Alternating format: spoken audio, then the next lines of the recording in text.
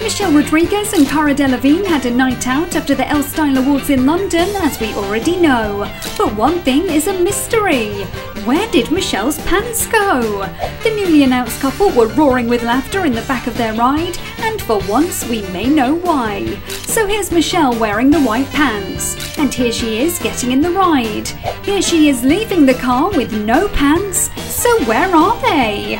Cara's carrying them, and from the look of it, they even took the pants with them to the pub they stopped at. This guy here seems to be the person who gave up his coat for the Avatar actress. Admittedly, we've zero idea why she shed the pants in the first place. Your guess is as good as ours.